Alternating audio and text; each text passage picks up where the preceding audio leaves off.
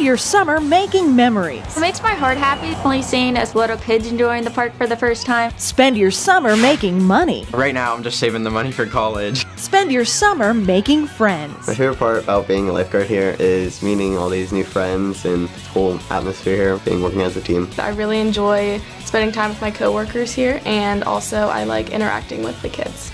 Applications online at mydelgrossopark.com.